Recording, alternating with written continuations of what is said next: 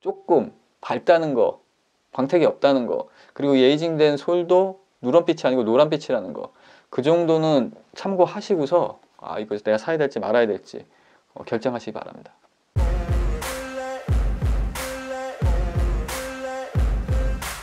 안녕하세요 스니커다입니다. 오늘은 Dunk Low Vintage Navy 제품 리뷰를 좀 해보겠습니다. 요겁니다, 요거.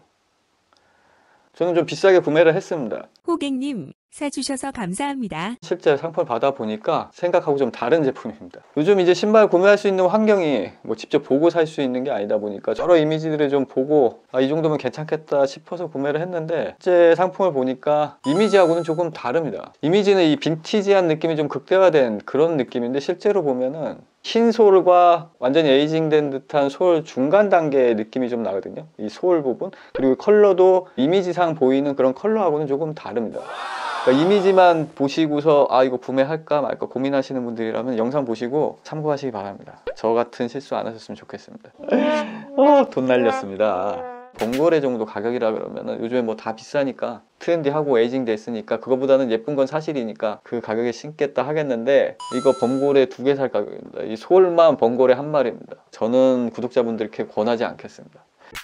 먼저 이 네이비 색상이 그 dark한 navy가 아니고 좀 밝습니다. 좀 어두운 느낌의 navy를 생각하신다면 일단 아닙니다. 그리고 이 제품 가죽 광택이 없습니다. 이게 광택이 진짜 없습니다. 거의 완전히 이씨. 번거래던 그거 복원하는 영상에서도 얘기를 했지만은 클래식 제품들은 예전에 제품들이 많이 남아 있어서 그런 제품들을 보면은 이 흰색을 제외한 다른 부분의 컬러가 제대로 살아 있을 때 빈티지 느낌이 제대로 나는 건데 그러려면 이 광택도 어느 정도는 살아 있어야 됩니다. 광택이 차지하는 부분이 어느 정도는 분명히 있는데 지금 이 제품 보면은 굉장히 낡고 되게 오래 신은 제품인데도 불구하고 광택이 살아 있습니다. 가죽에.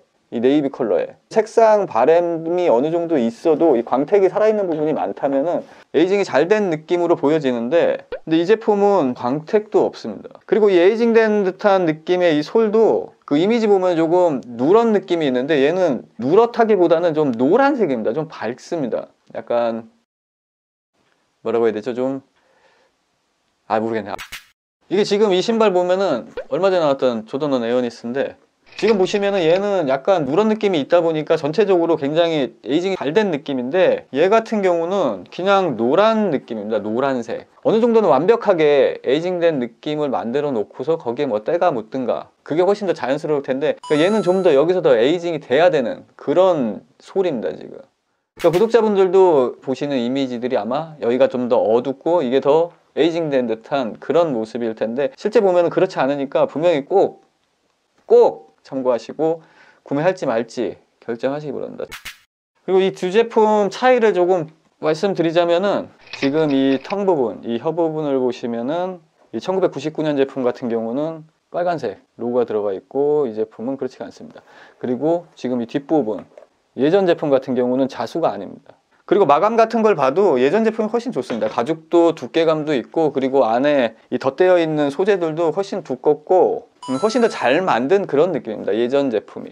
여성용 덩크 로우 레트로 제품들 사이즈 선택하는 거 그렇게 어렵지 않습니다. 예전에도 몇 번 얘기를 했는데 남자 사이즈로 바꾸려고 하니까 조금 헷갈리는 건데 그러지 마시고요. 그냥 남자 사이즈 270, 그러니까 덩크 로우 레트로 270 신는다 그러면은 여성용 사이즈로 그냥 275 신으면 잘 맞습니다. 남자 사이즈로 바꾸려고 하지 마십시오. 헷갈리기만 하니까. 그리고 뭐 발볼 있는 분들 같은 경우는 그냥 여성용으로 280, 그러니까 남자 사이즈 270 신을 때 그냥 280 신으면 잘 맞습니다.